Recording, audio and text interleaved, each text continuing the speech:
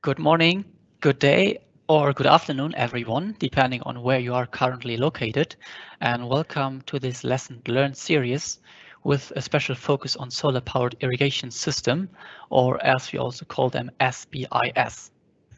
This session is part of a lessons learned series organized by the Global Initiative Water and Energy for Food to discuss the lessons learned from the previous programs Securing Water for Food and Powering Agriculture.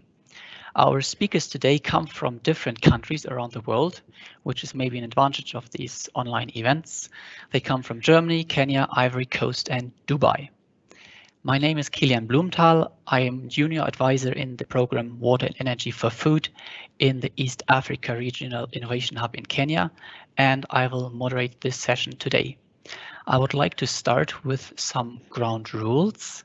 So this session is being recorded and will be uploaded to the Water Energy for Food website and also to the YouTube channel. On the right hand side, you should see a Q&A box you can submit questions and comments throughout the session there, and we will answer them in the Q&A parts. You also have the option to submit your questions anonymously. The session will be in English.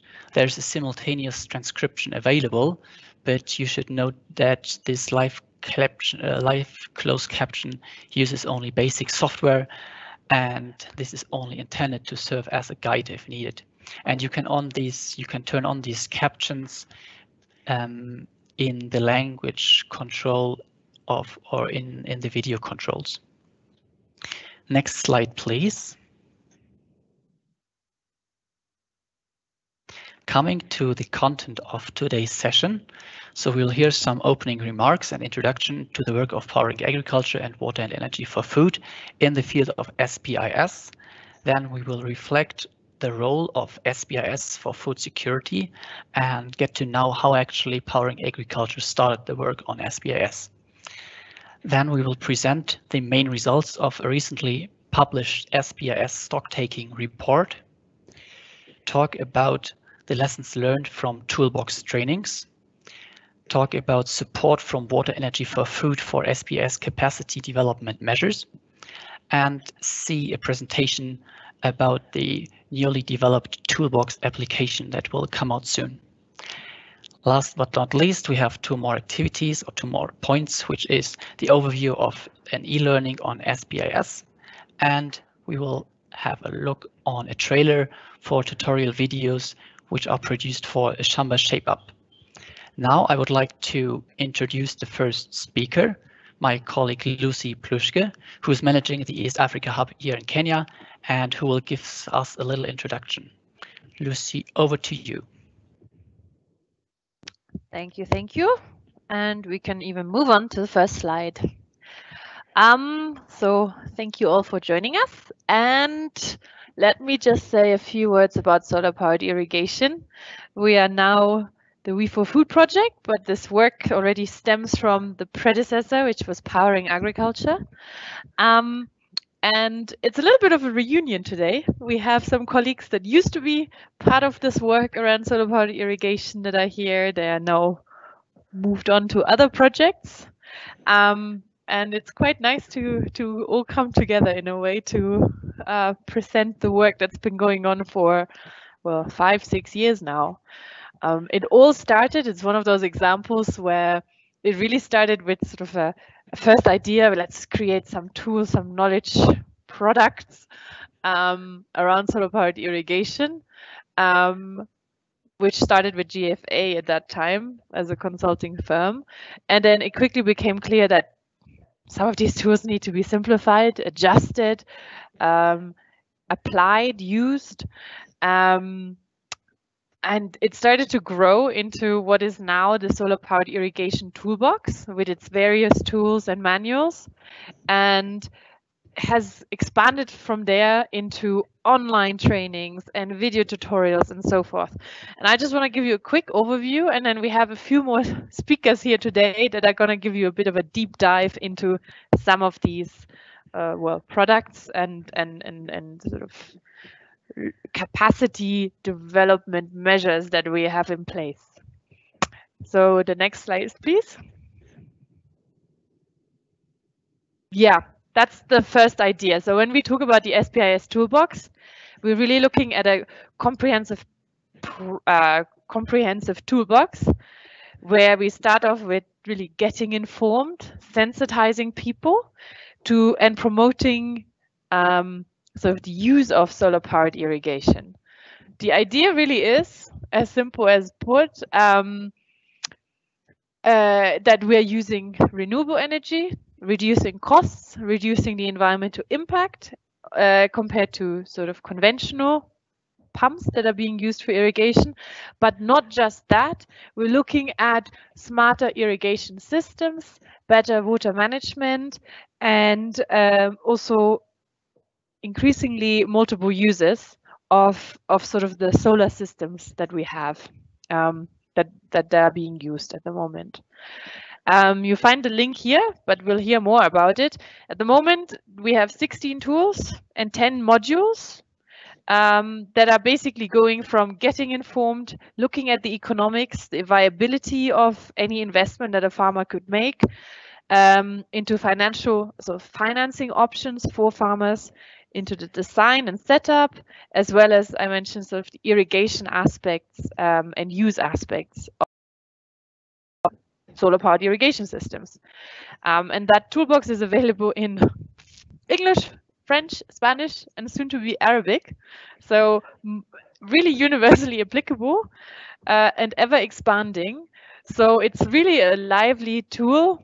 I've mentioned before it started with Excel, with Excels, and now is, um, you know, we can always add tools. We can always think of more topics that we haven't covered, um, and it's a growing, lively, uh, well, instrument, knowledge instrument. Next slide, please. Uh, one of the ways it's growing is the app. I don't want to say too many things because that will come up soon. But really, what we've learned is um, when you go into the field, you cannot really carry your laptop and fill in Excel sheets. Uh, what you need is something that is easily usable. Um, and can also be used, well, can be easily used. You put in data, it's user friendly, and also you cannot mess up the different Excel sheets. So that's why we kind of looked into the app. And from there, next slide, please.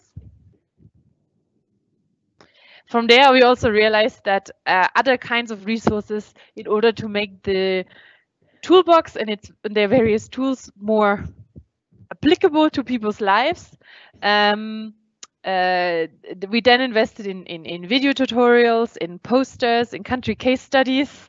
Uh, Kerstin and, and, Robert, you can tell us much more about this. We also have a newsletter that that sort of um, reports on projects, on um, um, on on events, everything related to solar powered irrigation.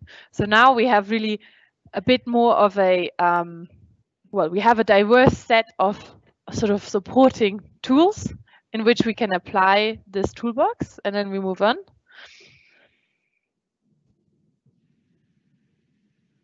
Thank you. Um, but at the end of the day, the key element of making sure that our toolbox is being used are these trainings. Um, the focus of most of these trainings is really that the toolbox is for, for advisors, for those that can guide farmers um, on on on sort of investment decisions, those that are uh, for decision makers and policy makers that think about subsidies or about what to do with um, at their county level uh, with the boreholes they have. Um, so that's the that was the first focus of the advisory trainings, um, and then we soon realized there's quite a bit of demand for these advisory trainings, and usually they're like a week long. Sometimes they're a bit shorter, sometimes a bit longer. Um, we go in the field, we try experiments, as you can see here with the water bottles. Um, the idea is that they're very interactive, but that we use the tools. Um, and so you need to have some good understanding of the toolbox, and it, not everyone can do it. And that's how we then ended up with the training of trainers. So to build really a training community um, so that we get support from experts in the field that familiarize themselves with the toolbox to help us do trainings around SPIS. Next slide. and from that, this is Kerstin's baby, really, uh, the SPIS trainer network developed um, where it is a it's an online platform on, on Energypedia, where also the toolbox is hosted. And there we have upcoming events and trainings. We have a list of trainers here under consultancy database, um, as well as sort of training kits, games and curricula, uh, curricula descriptions um, that can be used in practical training. Next slide.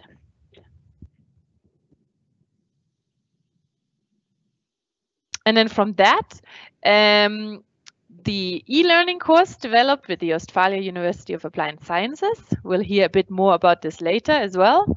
Um, and this was really to take some of these key lessons learned from our sort of training experience and from what we know that uh, that are crucial uh, to translate them into a online course that that uh, that was being rolled out last year, 2019, I'd like to say. Next slide. And this is something that we're currently doing. As I mentioned before, the toolbox so far is mostly focused at advisor level, which means the complexity is such that probably you need to have some sort of background um, in irrigation, in agricultural water management, with energy, um, with engineering uh, to make sense of all these tools that we have. And what we realize now is that we should also focus on the farmers who are using the, the pumps or even pastoralists. Um, and we started to work with Shamba Shape Up, uh, which is a TV program in Kenya um, that do sort of makeovers for farms. So they visit farms with uh, talk to the farmers, talk about what problems they have. So I would like to irrigate, but I don't know how. So then we have a TV segment on, well, this is what you have to do. This is who you could ask, and this is what you should consider um, if you want to install a solar powered pump in your on your farm. And so these tutorial videos are currently being produced in English, Swahili, and French, and they'll also be part of a um, TV show which is broadcasted in um, in Kenya uh, on national TV. And later on, it will be available on Energypedia and YouTube as well. Next slide. There's also various reports and studies around SPIS. Um, there's a few listed here. So you can see some are more um, country specific, um, like the one in Morocco, or um, Others are a little bit more value chain focused as to how, where in the value chain solar power irrigation can be applied. And the most recent one is this SPIS stock taking report that Hannah will be, um, Kerstin will be presenting soon. Next slide. One other thing that we were trying to do is um, not just talk about theory, but have practical pilot sites in very different climate and agroecological zones, different land sizes, different irrigation systems, different crops being grown, um, and really sort of study the impact in the long term. So now we've had we have set up pilot sites mostly in uh, Kenya, but we're also trying to expand that to other countries in East Africa and possibly West Africa. Um, and really look at what is the impact well first of all the performance and then also the impact on productivity on incomes um, on also climate resilience. Next slide. And also part of this work is um, what we're now doing with uh, to develop suitability maps. So this is really based on an index of biophysical indicators, socioeconomic indicators, and then that forms an overall sustainability index, which is supposed to be an online map, online, interactive, with various uh, layers um, of data that essentially at the end tell us, okay, here it makes sense. That's a red zone, that's a green zone uh, to use SPIS. And again, it's not just the biophysical um, aspects, but socioeconomic aspects, which is anything from sort of infrastructure, access to roads and markets, also to access to services, to the suppliers that are providing them. Um, and it's quite nuanced. Um, it says February 2020, I meant February 2021 is hopefully when these maps are coming out for here you see Kenya and Cote d'Ivoire, but the idea is to have a regional map for West and East Africa. And then next slide. We're at the end. So this was really just a brief overview of sort of some of the main resources we have for capacity development, some of the, the, the, the key um, yeah, tools. And I'm going to hand over to Robert, who is really the brain behind all of this, who started. Uh huh. um, yes, so I let Kilian take over from now.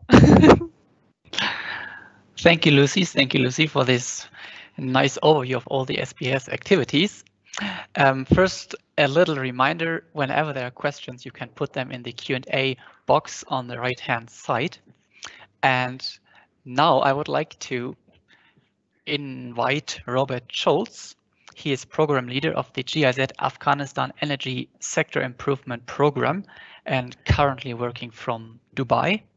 The reason why he's speaking today for us is because he was also in the Powering Agriculture team some years ago, and he was one of the first one to work with the SPIS system and was one of the first ones to to push all the activities that we can find today. So Robert, please, the floor is yours.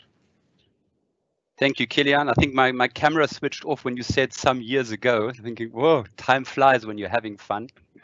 Um, yes, dear colleagues, thank you very, very much. My name is Robert Schulz. Um, I was part of the Powering Agriculture team from 2016 to 2019 and privileged enough to be able to contribute towards the SPIS uh, toolbox development. Um, next slide.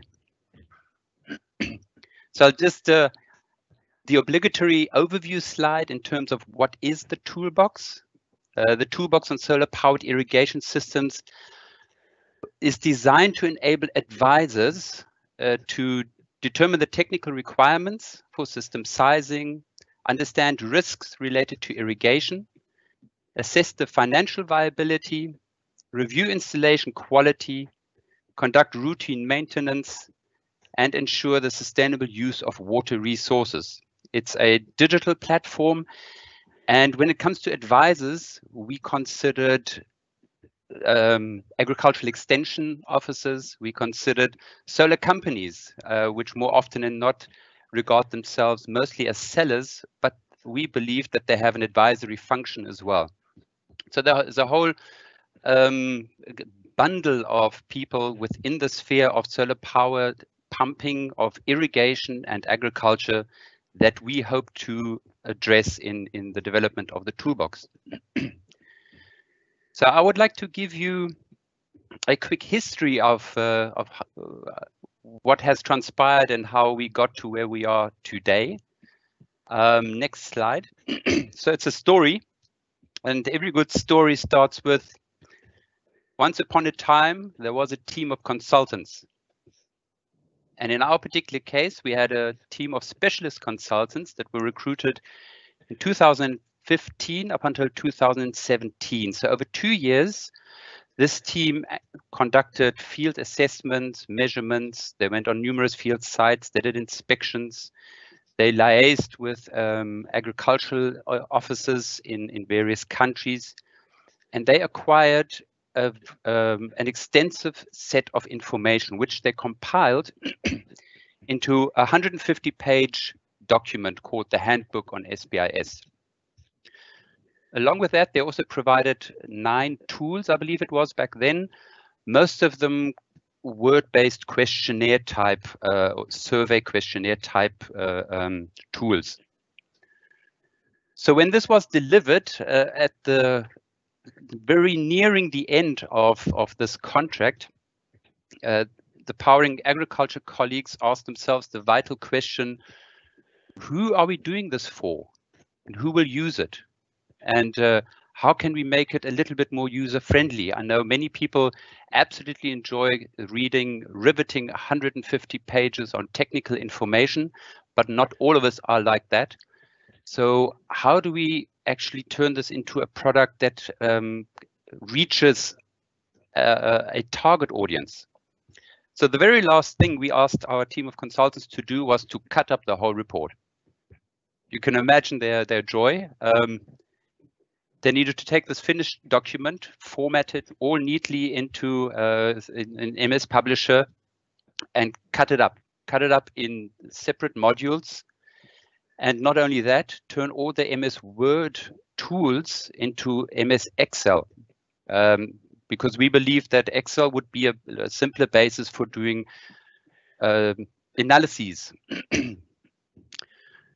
so this was um, their last. This was yeah their last formal act, and what was left was uh, were a, a, whole bunch of loose modules and a whole bunch of unformatted Excel files. And it's at this point in time uh, that this became a in-house effort. This is where the, the colleagues with, uh, within the GIZ, but also with other important ent entities such as the uh, FAO, volunteered their time and spent their time developing the tool from the inside out. So not outsourcing it, but doing it ourselves. So we embarked on this journey of mutual learning. We had there were a whole number of us um, regularly within the team, and none of us were any specialists in the field of solar pumping or irrigation, but everybody brought a certain amount of knowledge into this pool. Next slide.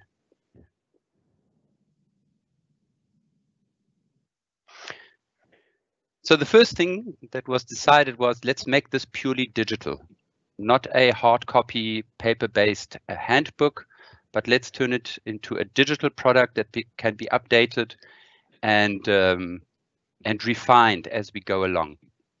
Um, that was the first easy decision. Of course, the consequences were not so clear, so we so we entered the rabbit hole, so to speak, um, because going digital means you needed to, we needed to reformat all the modules. First thing was to actually do text compression. Um, it is a potentially painful and arduous task to take 150 pages and and shrink it, shrink the modules into um, into the the pure essence of it. any surplus, superfluous words, any duplications needed to be removed. We then needed to do a unified appear, uh, uh, identify and implement a unified appearance. Once again, you've many of you have done this and there's a way of words jumping around and sentences jumping onto pages and you're simply not able to get them to fit where they are supposed to. And then we set intra-module links so that when you are in one particular module, there's a ref there's a reference to another module. You can use hyperlinks to jump back and forth. Um, once again, sounds very easy, but very tricky, lots of blood, sweat, and tears. So while we were refining the seven modules, we realized that were that there were some key uh, there was key information not considered, and three additional modules were compiled from scratch. This was done with, to a large extent, with the significant support from colleagues within the FAO that have been working in this space and alerted us to specifically irrigation and environmental issues um, that were not considered uh, in depth. And as we worked on the modules and we looked at the tools, we also realized that the modules actually lacked certain tools. There's much more scope to create additional tools to assist us in things such as determining how often to irrigate a certain crop or tools that would allow us to uh, assess what kind of investment por uh, um, portfolios apply to solar pumping a whole range of additional tools were, were thus developed, um, primarily Excel based because we believed it is it is it allows us to interact with the data and immediately get a response from the software. So then once the, all this work, work, work was done, it was decided to place this all onto the Energypedia wiki. Once again, easier said than done because now it required additional reformatting of the modules. They needed to be condensed even further. They needed to be cut up even further into smaller portions so that it makes navigation easier. Once again, links needed to be set, a huge task. Now, as I mentioned earlier, this was an in-house activity and we needed to learn as we went along. And the pictures to the to your right-hand side illustrate uh, the links that we went through. I mean, the top picture shows Kerstin learning how to configure a pump controller. So we engaged with companies to understand the technology much better. The picture in the middle shows Kerstin and, and McBen in a uh, in, in Kenya speaking with a rural supplier of solar pumping technologies. We spoke with agricultural advisors. We spoke with um, smallholder farmers to really understand the, the length and breadth of this technology and the impact it would have positively and negatively. the bottom picture shows Kerstin in action again, presenting our didactic concept to GIZ colleagues. Once again, testing our thoughts against a sounding board of people that we had at our disposal that volunteered their time, that had expressed their interest. Next slide.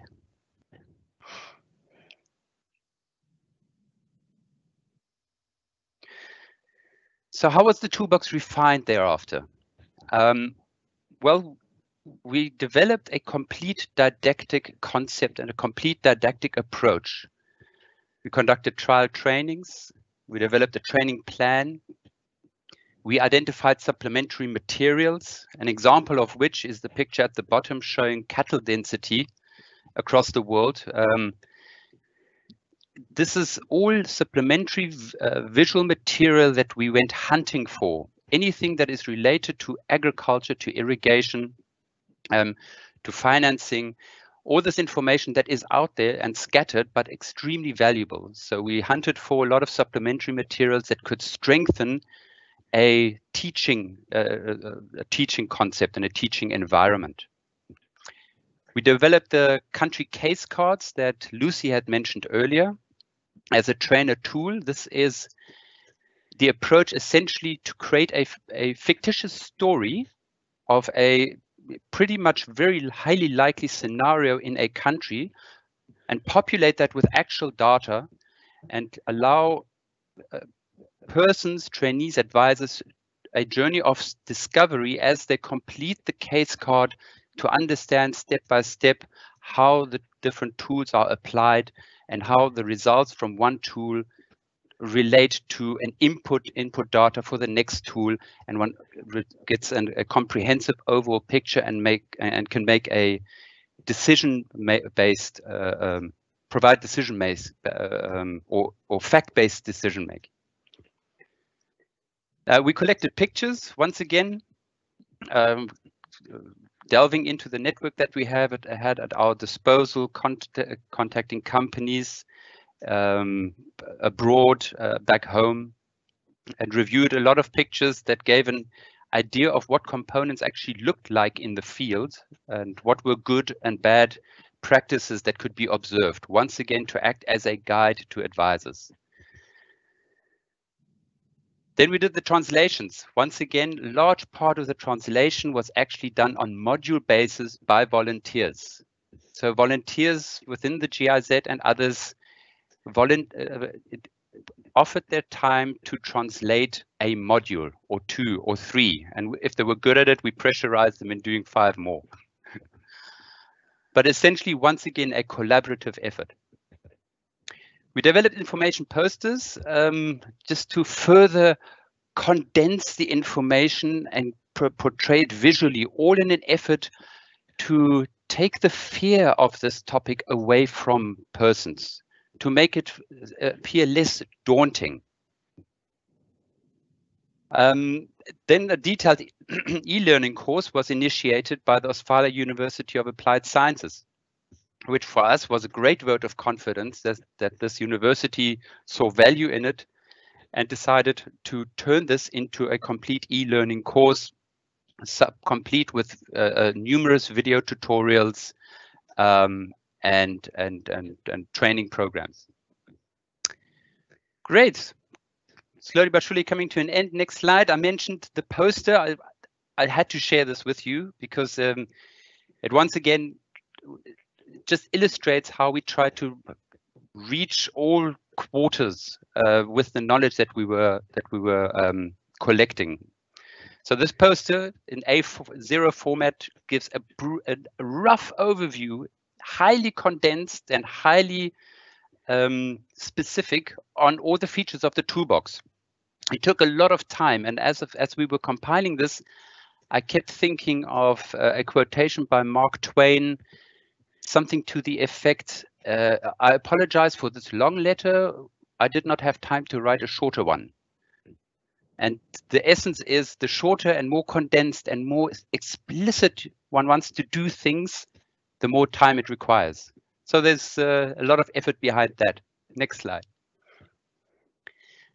So nearing conclusion, ladies and gentlemen, um, I once again wish to uh, emphasize the, this collaborative in-house effort, uh, this this road of mutual learning and um, really understanding a technology, and through this process of understanding, being able to pass this knowledge on to others. There were a whole range of absolutely lovely people, experts in various fields, from from pumping to irrigation to to agriculture that were involved in the whole process, guiding us step by step, persons that we could test uh, our ideas on and that gave us invaluable feedback. So this was a long, long journey, a long road, um, and and there was uh, in the it was at times daunting um, and overwhelming. But there was one thing that was like a, a red thread throughout the entire initiative, we had a lot of fun. Next slide, please. We, we simply enjoyed it. Um, it was an absolutely creative process of mutual learning. And um, I had to share this picture of Kilian at one of the trainings, showing us, you know, how he jumps jump starts his brain. Kilian started as an intern and has contributed significantly to the to the toolbox and is contributing even more now. So yeah, um, thank you very much to, to everybody. Thank you for your attention and um, keep it pumping. Thank you.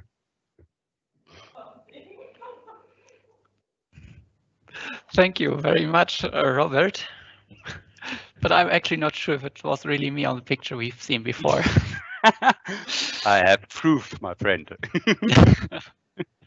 no, thank you so much for these uh, for these um, almost history classes of the development of the SPIS toolbox so far.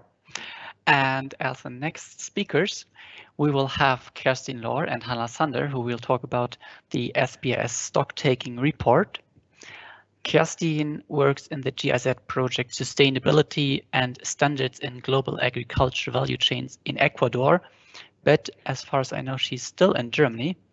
And Hannah Zander works also for the Water Energy for Food Regional Innovation Hub in Cote d'Ivoire, and she's already there. So now, Kerstin and Hannah, floor's yours. Thank you very much, Kilian, for this introduction. So yeah, good good afternoon and good day also from my side. Um, as Kilian already uh, introduced me, I'm Hannah Zander working um, in Abidjan, Ivory Coast for the Water and Energy for Food program. And um, to give Kerstin the possibility to also present herself quickly before we start, I hand over to her for the presentation. So good afternoon, good morning to everybody who's listening to this uh, very nice session today. My name is Kerstin Lohr. Um, thanks for the very nice introduction, Kilian. Um, yeah, I'm currently working, or I, I switched, let's say, from water, energy, food uh, topics then to something even more concrete to bananas in uh, Latin America. So this is what I'm currently occupied with and dedicated uh, to. But still, my heart is half half-hearted to to SPIS and all what's around solar powered irrigation. So this is why I'm here still and very happy to share some of the some infos on a very nice publication with you that is and who is listening today. Perfect, thank you. So yes, we are presenting today to you the SPIS stock taking report. So um, Kerstin and me, we both worked for Powering Agriculture before, and we we managed the yeah the creation of this uh, report and um, accompanied the process until publishing. Um, the report was published in August 2020, so August of this year, and um, we can directly start with the next slide, please. Okay, so I first would like to share with you what is the report all about. So this is mainly um, the chapters that you also will that you will also find in the report.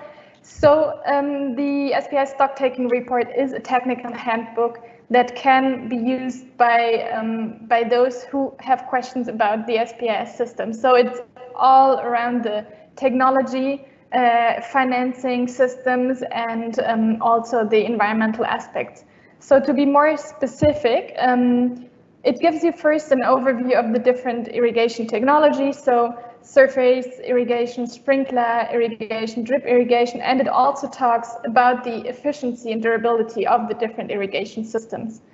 Then uh, we have a chapter on the financial analysis of the different irrigation systems, uh, irrigation solutions, and the financial viability um, of uh, SPIS systems. So it's mainly about um, the financial impact of SPIS systems um, on farm budgets. So this is of course always individual, but it gives you already some advice and some some instruments also at hand to to do these analysis. Then we have one chapter about the components and the design of SPIS systems. So um, here we talk um, about water pumps, storage tanks, solar generators, and what you need to take into account when, when you are planning and sizing an SPIS system. Um, for um, at the fourth chapter, we have um, um the management requirements of SPIS systems. So um, what are uh, the requirements that you need to take into account and what, um, what aspects are influencing your strategical and operational farm management when you have a um, SPIS system. So beside these technical aspects, um, the report is also presenting um, the environmental aspects and the durability. So it talks about um, the carbon footprint of photovoltaic systems, for example, um, and it gives advice on how to reduce the risk of water, uh, groundwater depletion and soil salinization, and um, how you can manage um, the availability or yeah the availability of SPIS components on local markets, which as we all know is is not always easy to handle, but um, yeah needs to be taken in account into account when planning and establishing an SPIS plant. Next slide, please. Okay. Beside um, beside uh, these technical chapters and the environmental chapters, what is specific about this report is that it gives you um, for every chapter a tool out of the SPIS toolbox at the hand. So every chapter starts with um, give, with providing a QR code and a hyperlink uh, to one specific um, Q, uh, to one specific um, SPIS instrument that is relevant for this chapter, and you can click on it and then you can directly access the different Excel tools and uh, soon you could also use it on, on your app, um, on your phone. Yeah, so um, it also gives you some concrete examples of different um, different countries. So for example, um, we have four different case studies within the report.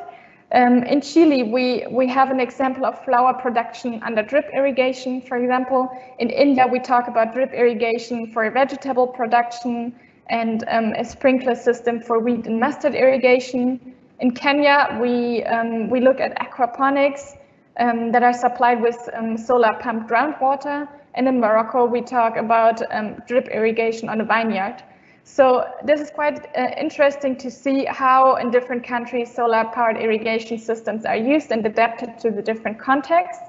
And then um, to, to um, come to an end of, these, uh, of this um, overview of the study, the report also provides a chapter on potentials and barriers of SPIS systems.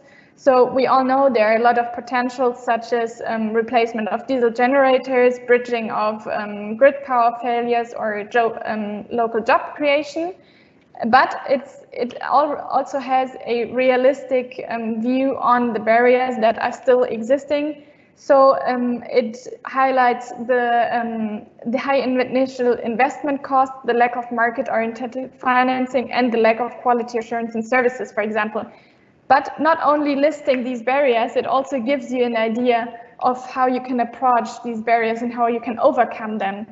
Um, for example, taking the barrier of the high initial investment costs, um, it highlights um, the fact that despite these invest high initial investment costs which exist and which remain a problem, that um, that frequently is, it is overlooked that after the installation of SPIS systems, only a fraction of the operating cost of a diesel pump is incurred. So it gives you these um, these details at hand, it gives you tools at hand, and um, it really contains all aspects of SPIS systems and can be used as a handbook to look up um, details. And yeah, this is mainly about the report and to uh, give you a broader view on the target group it is meant for, I hand over to Kerstin. Thank you. Thanks, Hannah. So for whom is this thought for? Who should have a look in this in this report? Well, actually, we tried a bit a to to re, to to do the um, to have a report who is nearly for everybody, so the the possible and the impossible. Um, as it's thought as a compendium, as a handbook, it's meant really for a very broad group of, of people.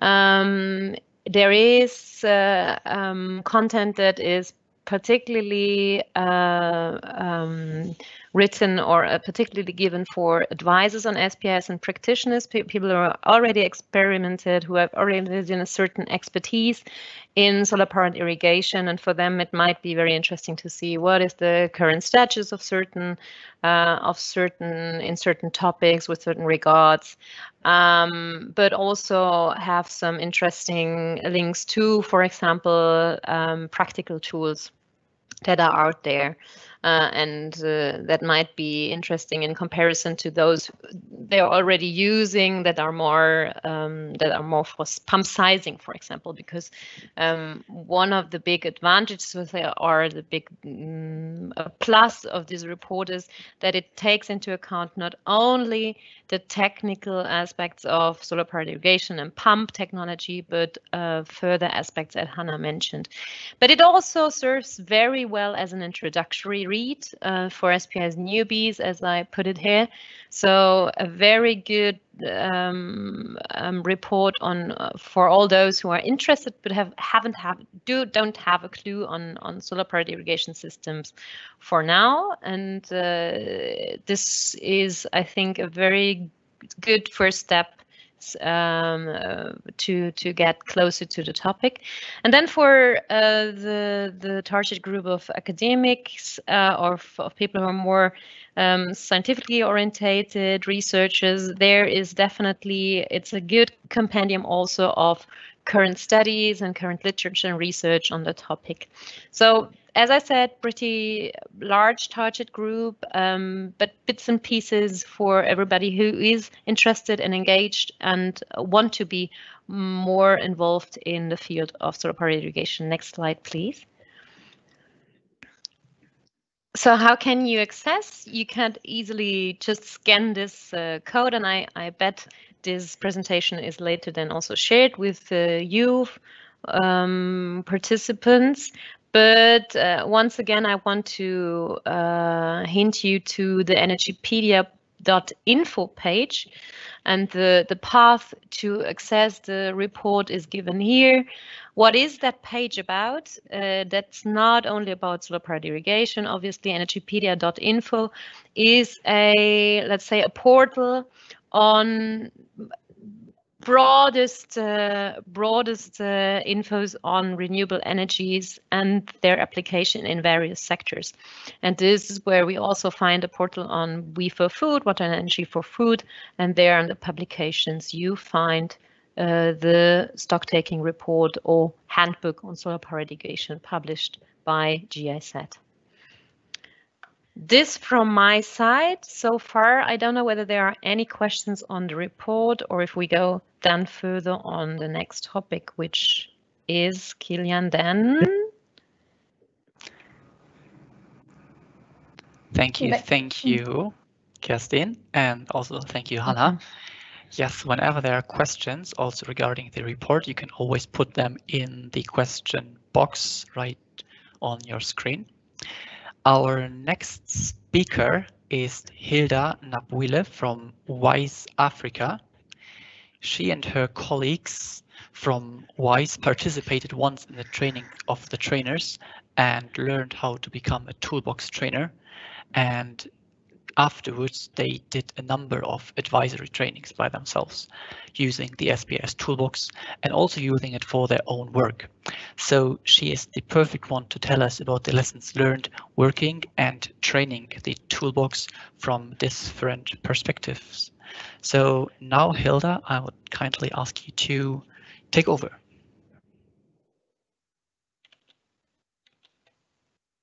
Um, all right, thank you, Kilian. Um, hi, everyone. Good morning, good evening, good afternoon, depending. My name is Hilda Simiyu Nabuile. Um, I am an electrical engineer based in Nairobi, Kenya. I'm also a member of Women in Sustainable Energy and Entrepreneurship Cooperative Society Limited. And uh, our focus mainly is on capacity building in the energy sector and trainings for, for all. We can move to the next slide. Um, I've already done the first introduction. We are an energy service cooperative, and our target is to enhance participation of women in renewable energy and entrepreneurship. We do this in two ways, in capacity, capacity building, one, and then secondly, in energy, in solar installations. And um, we are composed of women who are in the technical fields, mostly engineers and um, environmental scientists and uh, some people in the biogas sector. And we work together. We dedicate part of our time because it's not a full-time employment. It's our part-time venture as women. We dedicate some of our, some of our time to install solar systems for some partners and some of it to train on solar systems. So we were trained by GIZ, that was Kerstin and McBain um, in 2018 as TOTs. And uh, so far we have done quite a bit of work with GIZ in trainings on SPIS. So I'm just going to go through some of some of the things that we have done together with GIZ as WISE. Um, that's the first photo from our pilot training where we attended our training of trainers at Strathmore University in Nairobi. We had six WISE members, um, two trainers from GIZ, they're actually there, Kerstin and Mark Ben. It was a very interesting session. And since then, we've done so many things, and we are grateful for that. Then we can move to our next slide. So this is just a a brief overlook of the module of the toolbox, which was discussed, I think, in depth by Robert. Um, same thing there, but in this case, I have some different uh, tools that have put a yellow mark on them. Um, due to COVID and its effects on face-to-face -face trainings, we were engaged by GIZ and MAGRAF publishers in training on how to handle online trainings on the SPIS toolbox. And these trainings were focused on the five tools that are actually that have the yellow dot on top. That's the water requirement tool, farm analysis tool, payback, the pump sizing tool, and the soil tool. Currently, we are doing our first online training on SPIS. We'll have the last session on Thursday this week. Uh, and we are doing this in collaboration with Maggraph Publishers. And it's been a very interesting session getting to understand how to make sure that the online training is as effective as the face-to-face -face training. Then we can move to the last next slide. Um, this is a simple overview of what the Excel tools look like. The first part, the first worksheet is the README. It's always an introduction, gives you some information of the objective of the tool, what it is able to do for you. The ones, the next three that are in red are two, are two, are worksheets that require some inputs from you. Um, your input will, and in training, it will come from the country case cards that have just been mentioned. But when you're actually applying the SPIS, you'll get this information from, say, your the farmer you're working with, the client you're working with, depending. Then the fourth worksheet, which is in green, is usually the results worksheet, and it gives you the information that the tool is able to give you depending on your inputs. Then um, the last tools, the ones that are in yellow, are usually more of information tools, and you can always look into them just to see what is the background information used by the tool to give you the results that you get. Um, so all tools have this setup and each worksheet has its own function and they're pretty easy to navigate and also easy to train teams on. We handle a lot of questions from trainees, especially when you have a lively team, which is the fun part in training. We move to the next slide, please. All right, so this is um, just a number of trainings we have done in collaboration in collaboration with GIZ since 2018. Um, we have some trainings that we have done in Ghana. We have some that we've done in Uganda, some we've done in Malawi, and some that we've actually done in Kenya, our home ground. So far, I can say we have trained almost 150 um, people on the SPIS toolbox.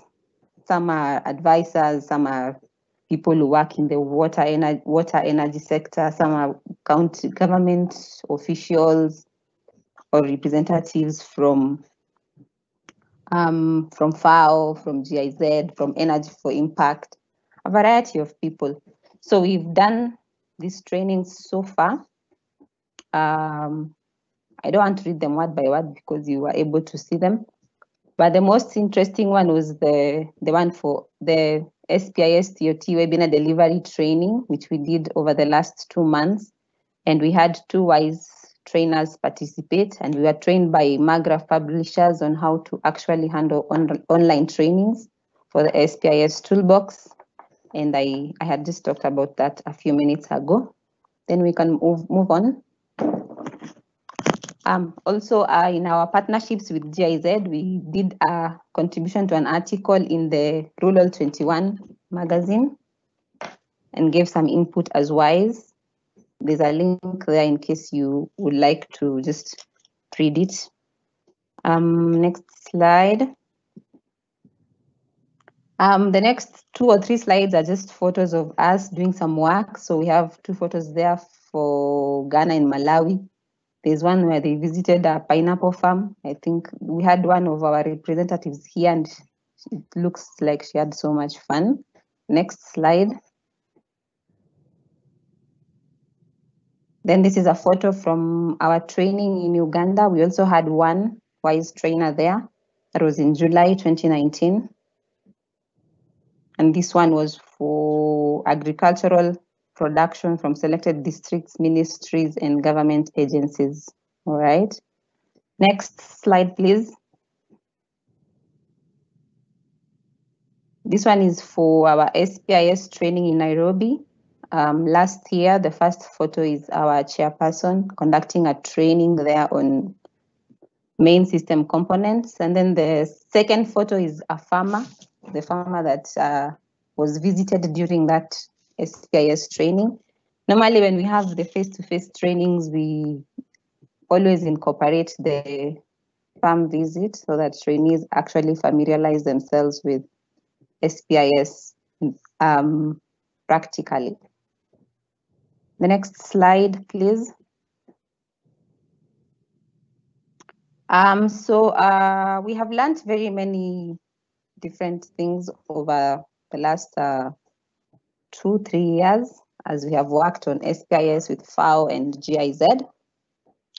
The first one is that um, the toolbox trainings ensured that SPIS information tricked down to the end users and not and was not um, within the domain of say pump manufacturers or solar modules manufacturers, but even the farmers and the people that work closely with the farm, these farmers are now informed on what SPIS is and what it can actually deliver for them.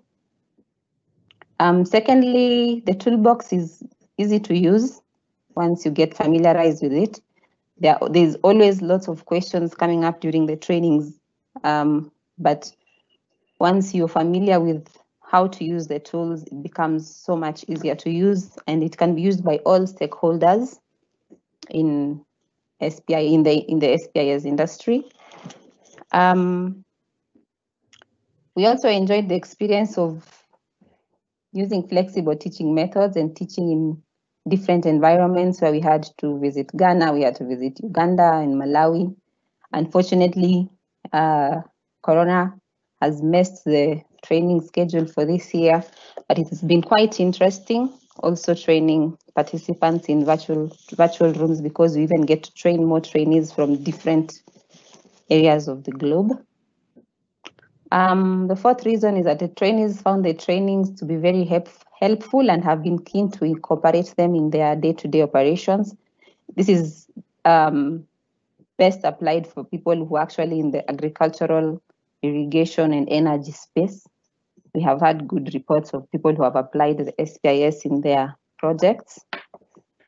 Then um, trainings and trainees themselves suggested modifications to the toolbox to suit their local needs based upon their experiences. And it's very interesting that trainees are actually able to relate what is in the toolbox and what they actually come across in the farms. Um, then lastly, uh, virtual trainings on SPIS is possible and effective. We were initially worried. I was part of the team that took part in the on in the online training, online SPIS TOT. And initially I was really worried. We were actually two of us from WISE. We were both very worried about how effective the virtual virtual training can be compared to face-to-face -face trainings. But over the last months, we've been trained on how to deliver these toolbox trainings and it's a good report. It's actually possible to do these trainings virtually. And the advantage is that you're able to train much more people, more people than, okay, not more people per se, but let's say people in many different parts of the globe at the same time. Yes, um, so virtual trainings is possible and, uh, and effective. Um, thank you very much. Uh, if you have any questions on WISE and our experience, I think we will. I will respond to them in the chat if they come up. Thank you very much. Kilian, back to you. Thank you very much, Hilda, for your presentation and sharing with us all the experience that you made during the trainings. And uh, now our next session directs to those who are maybe interested interested in also doing these trainings or offering these trainings or participating in these trainings. And we have now Johannes Montau from our Bonn GIZ Water Energy for Food team. And he will tell us a bit about the ways that Water Energy for Food can support capacity developing, uh, capacity building measures. Johannes, to you. Yeah, hello everyone, and thank you, Kilian, for the nice introduction. Uh, my name is Johannes Muntau, and I'm working, as Kilian mentioned, in the steering unit for the Water Energy Food Program in Bonn. And I will talk a little bit about global capacity development uh, with, within the project. But before I will talk about that, I will give you a little bit an insight about the program itself. So next slide, please. We Food is an joint international initiative of the German Federal Ministry for Economic Cooperation and Development, the Ministry of uh, the Netherlands Foreign Ministry of the Netherlands, uh, the Swedish International Development Cooperation Agency, and the US Agency for International Development. And this initiative will be joined uh, by European Union soon. And um, We for Food continues and builds on the lesson learned from the two grand challenges for development which ended last year, securing water for food and powering agriculture. And We for Food seeks to accelerate the scaling up of climate-friendly energy and or water efficient innovations in the water energy food nexus. Next slide, please. So we try to do that uh, with the six areas of intervention via direct grants, technical assistance, financial assistance, advocacy, knowledge generation and facilitation, and capacity development. If you are interested in the other five fields and you want to learn more about it, uh, we invite you to visit our website or contact us via mail and uh, the mail address and the website link will be posted in the chat in the Q&A box. Next slide, please. So the sixth area of intervention is the global capacity development, and we have basically one big target group. These are multipliers from the water, energy, food sector or the agro sector and value chain organizations. This can be uh, cooperatives, technical institutions, uh, governmental organization or non-governmental organizations. And within global capacity development uh, of We for Food, we try to contribute to a better understanding of the water, energy, food nexus approach and its advantages, as well as the challenges and opportunities that hinder or promote the scaling up of clean water and energy solutions in the agriculture sector and, and the agri-food industry, and also give a better understanding which investment measures and business opportunities are within this sector. Next slide, please.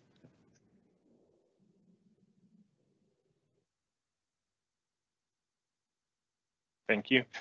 And uh, so we have identified so far different fields of activities where we uh, want to develop together with multipliers and other non-governmental organizations or institutions um, development measures uh, such as, and these fields are small scale irrigation or solar powered solutions like uh, trying cooling heating along the value chain or also developing capacity measures within the the context of access to finance and we welcome you and all organizations uh, to, to contact us and to collaborate with us and to provide or to develop training materials and give trainings on these different fields of uh, activities and uh, areas within the water, energy, uh, food nexus.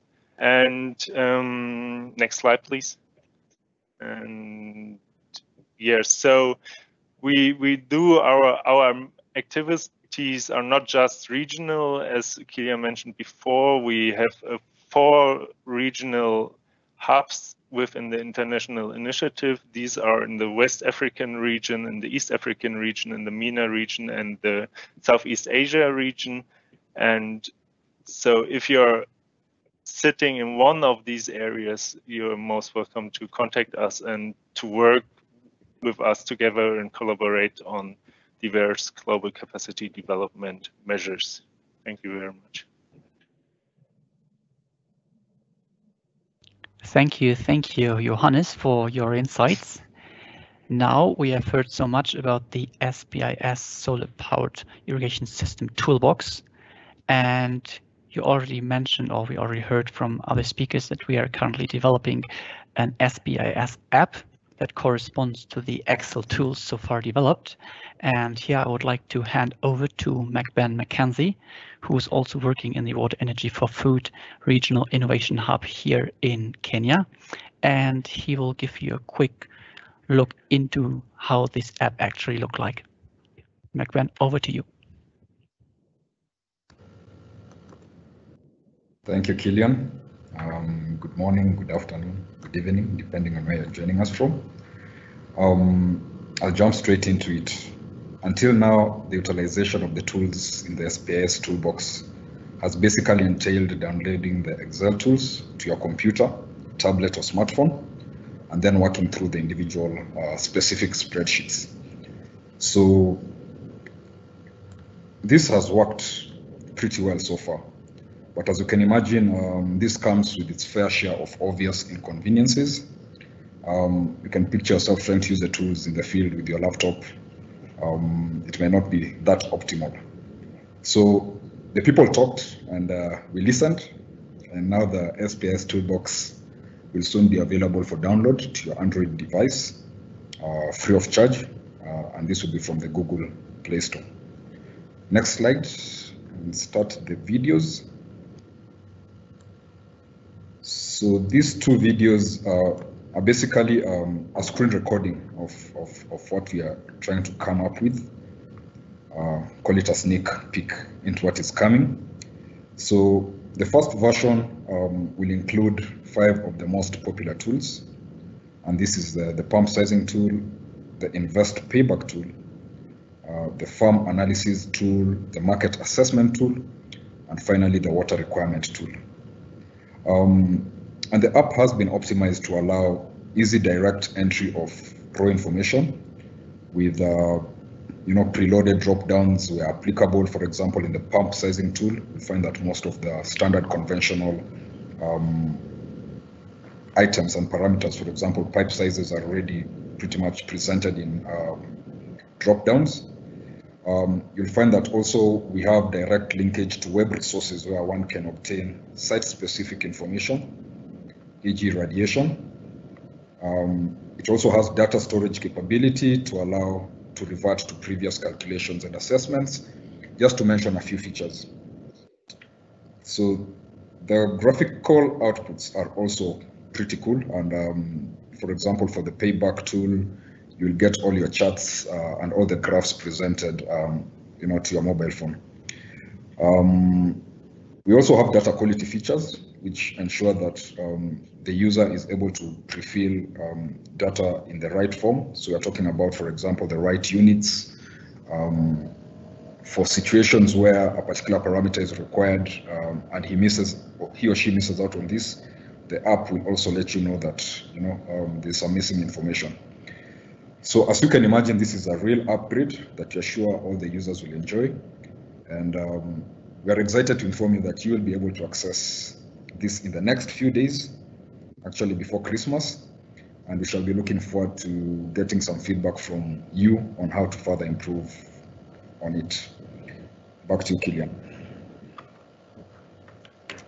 Thank you, thank you, McBen, and for giving us a quick introduction into the SPIS Toolbox application.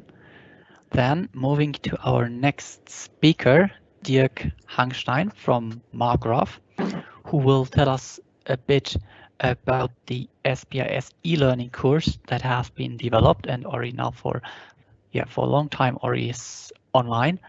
And yeah, happy to hear what what you can tell us, Dirk. Over yeah. to you. Thanks, Kilian, and uh, greetings to all of you. My name is Dirk Hangstein. I work with Margraf Publishers. Uh, we've heard a lot. Dirk, I think we can't hear you. So my microphone is on. Sorry, sorry, we can hear you. Only me, I can't hear you. Uh, Jana says uh, that the uh, she can hear me. You can hear me? So can I. yes, Joe. yes, yes. Now it works. Okay, now it works. Excellent. so uh, it was just a weak attempt to uh, confuse me, Kilian, but uh, not chance. So once again, greetings to you. My name is Dirk Hangstein. I work with Margraf Publishers. Um, in the last uh, hour, we have heard a lot about uh, all the huge activities uh, which have been taken, so on. And uh, I didn't even, I, I, was not aware about how many people and how many activities are going on, especially uh, the the app of which we heard from McBen. It's, it sounds very exciting to me. Well, I just want to talk about a little, very little um, component component of all these activities, the e-learning course. It's just a brick in the wall uh, and um, intended to disseminate knowledge. Next slide. So we are talking about the e-learning course. Next slide. Yeah, and um, this e-learning has been, um, as has been mentioned uh, earlier, uh, developed together with Ostfalia University of Applied Sciences on behalf of GIZ. From the very beginning, um, we uh, put a lot of emphasis to the approach of blended learning. Blended learning means that several instruments are mixed together to ensure best possible learning um, experience. One of the first, the most important component of blended learning is for sure the content itself. Um, the content has been divided into four modules, uh, sustainable water management, solar pumping essentials, planning and operation. And this uh, has been split in 15 lessons from modules and um, if a participant reads everything, uh, we estimate uh, that he or she needs 30 hours of reading time. The content is available on uh, online or offline. For, for instance, when you sit in the bus or waiting for, for a train or a plane or something like this, you can also read this. Next slide. Well, the um, content uh, should be in the, the digesting of the content should be tested. First, uh, we need, uh, first, we, we uh, offer a uh, self-test. Every module uh, finishes with a self-test. Not um, supervised by a tutor, only for the participants. Next slide. The next possibility is the, the very, very well done practical example, the CCC, the country case card, in this case from Kenya.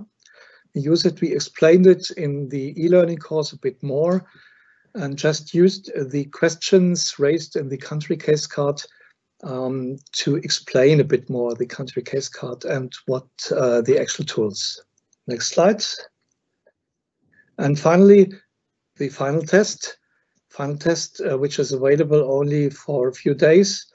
Um, multiple choice tests and free text assignments, uh, also the possibility to upload an Excel sheet or a Word document to um, evaluate the participants' performance very thoroughly. Next slide. So one component has been the content. The next component are the uh, audiovisual uh, video clips. 15 video clips have been developed. Hands-on videos explains um, centrifugal pumps, uh, horizontal pumps, uh, so on, helix pumps and everything. But the most important screenshots, I think, in my personal opinion, are the screencasts. Uh, five screencasts uh, explain in form of a video the use and the filling in of data to Excel tools, to the Excel tools, five most important Excel tools. Um, over this, we have a discussion forum and in regular uh, periods, uh, we have live webinars, live classes with input lectures and discussions. Next slide. So I think we, we skip this because um, in regard to time, would just be a little example of the farm analysis tool, uh, just showing how to fill in, but uh, you can do this alone. You can find it everywhere. I will would rather mention the uh, where the content is coming from. Well, uh, it has been mentioned, especially Kerstin was talking about this, uh, and and Robert um, about the uh, manual which is published to Energypedia, which is very very good and very extensive. and in my personal view, it's been it's a bit too long and too complicated, especially for practitioners. So we decided to break the content a bit down. I think 40% are left over. Uh, and uh, we uh, put this into the e-learning course. As said before, the mother language is English. Afterwards has, has been translated the e-learning course to French. And currently we are busy um, to uh, produce an Arabic speaking language of it. Next slide. So two ways to deliver the course. One is the tutor guided course twice a year, I think twice a year currently, uh, like a training course to a fixed date for 60 to 100 invited participants who have to register first, four weeks long, depending on the number of uh, participants, three or four or two tutors. And as I said, uh, in regular per uh, periods, uh, there are live webinars with external experts who are doing live in webinars, live classes. Next slide. And uh, GIZ, as well as we do, found it uh, pity that uh, these courses should be available only twice a year. What is uh, in between the course delivery? Well, GIZ decided to uh, implement a self-learning, which is a good idea. So for the time between the courses, um, the course content and the videos are open to everybody. Um, GIZ only wants to know who will be there in the in this uh, course. So a short registration with your name, your profession, your nationality, your gender, and your email address for sure is needed, and then you get a login. Currently, we have not six, uh, 650, but 850 in the meanwhile, 850 users. So you see there's a lot of demand on this. Next slide. So, and um, last but not least, where can you get information without uh, having the need to log in? you can watch uh, two videos. One is a video of the organizers, participants, tutors, uh, report, just a re short report from a course held in July 2015, and a video.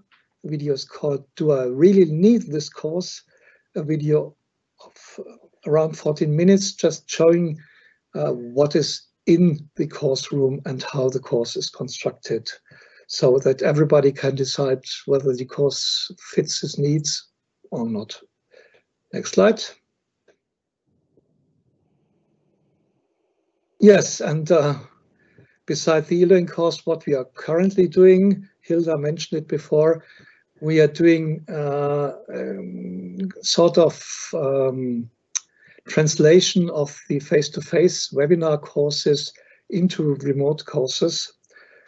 Um, Hilda was quite optimistic about that uh, SPIS uh, online training is very good possible.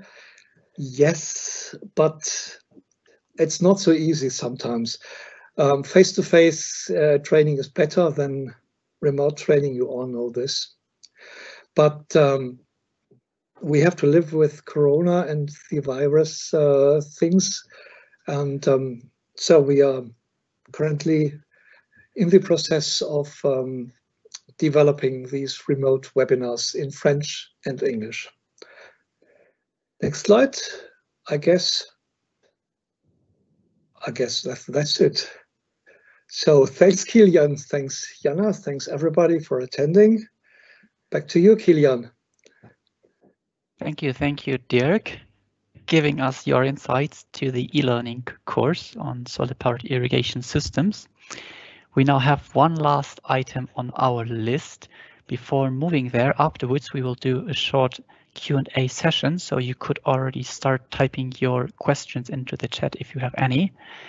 And then afterwards, we can we can directly jump to them. Next slide, please. And then you could start the video.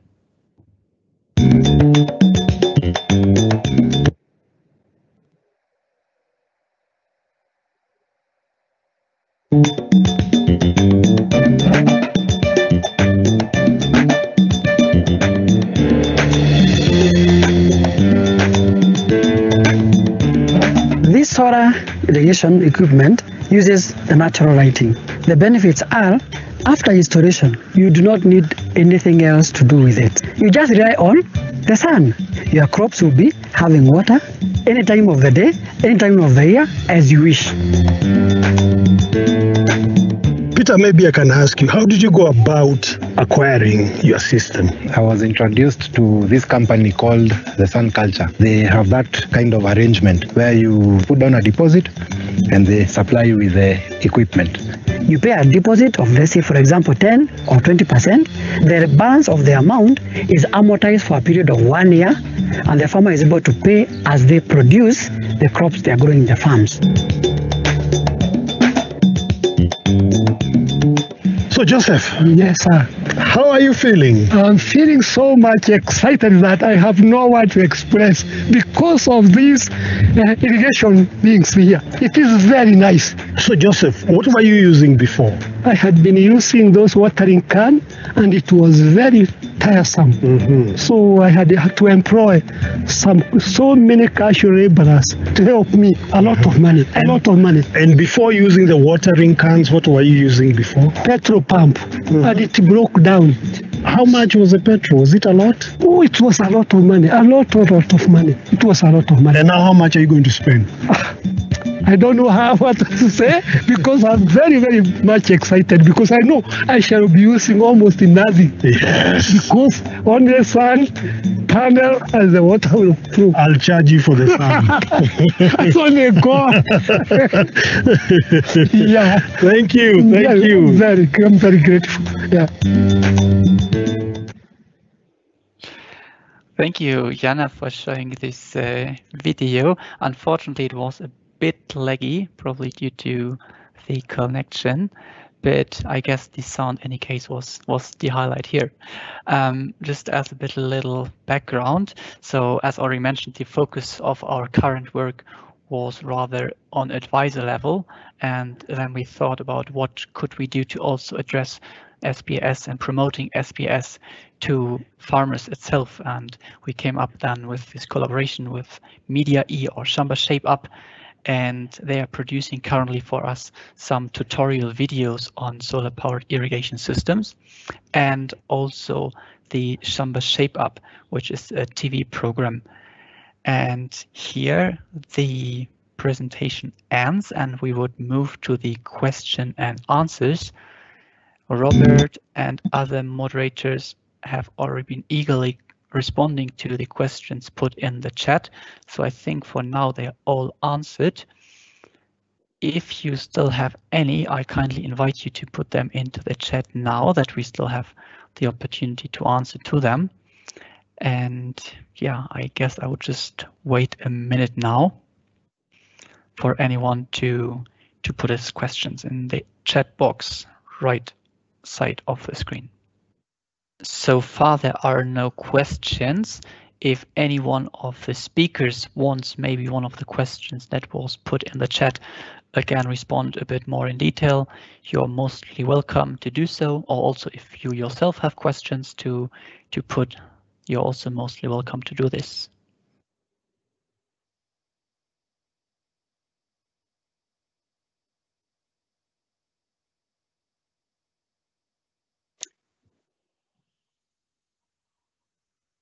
Kilian, if I may. Yes, I hear you, Robert. Thank you. Great.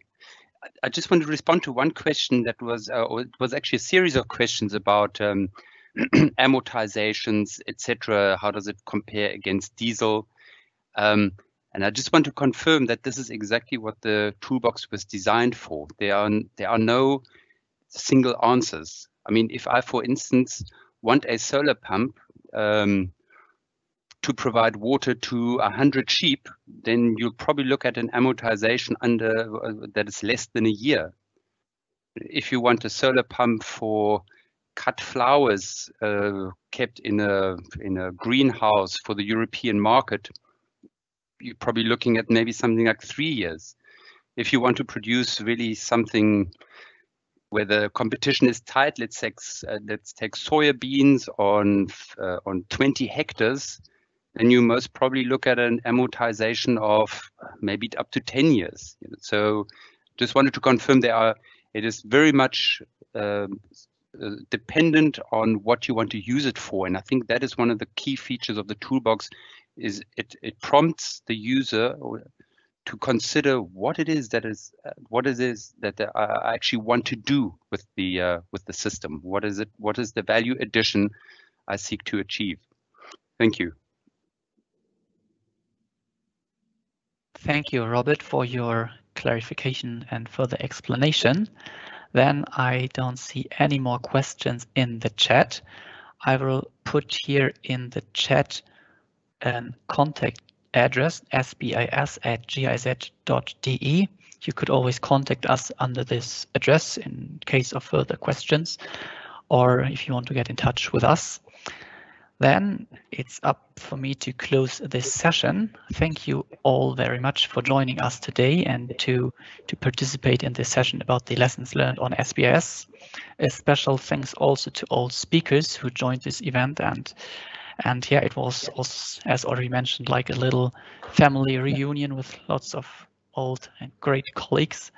And it was super nice to hear from all of you. I wish you all the best and a great rest of the day. And yeah, all the best from Kenya. Bye bye.